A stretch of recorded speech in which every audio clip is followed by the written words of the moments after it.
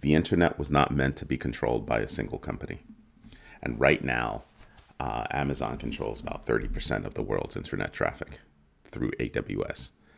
That right there is a problem.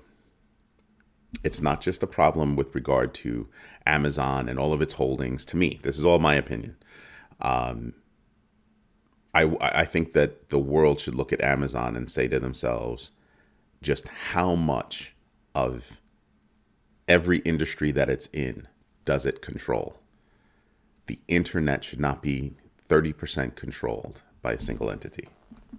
My humble opinion. Right. And there are actually people out there that are working to change that. Right. Getting funding for new servers, new DNS servers all around the world, things like that, because it's going to take money to create that kind of a network so that the company cannot do that. And I want you to stop and think about this as Bitcoiners, as crypto, as crypto people. Um,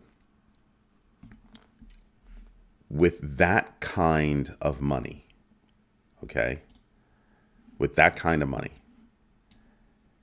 and that kind of, you know, power, I honestly say to myself, you know, yeah, no, that should not be one. Two, what's the other problem that I see? It really is just power. Now, from a crypto perspective, imagine if one company controlled 30% of Bitcoin, how much people would just lose their minds. That's what I mean. That's just crypto, right? Imagine being crypto being controlled 30% of all crypto being controlled by one company, one entity. One. Now I want to apply that same thought to one company controlling 30% of the world's internet traffic.